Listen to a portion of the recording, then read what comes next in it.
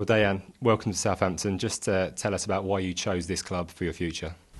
Thank you very much. Uh, I chose this club because uh, we spoke uh, speak a, li- a, lot of with the with the chairman and with the coach, uh, and it was a it, it is a great project, and uh, I I see it will be a big team. I we are a young team, and I hope I will be uh, a plan of, of this project.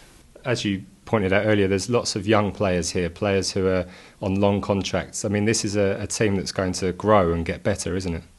Of course, uh, me also. I'm a young player, uh, 20, 24 years now, and uh, I have also a long contract, and I hope uh, I will stay a long time here.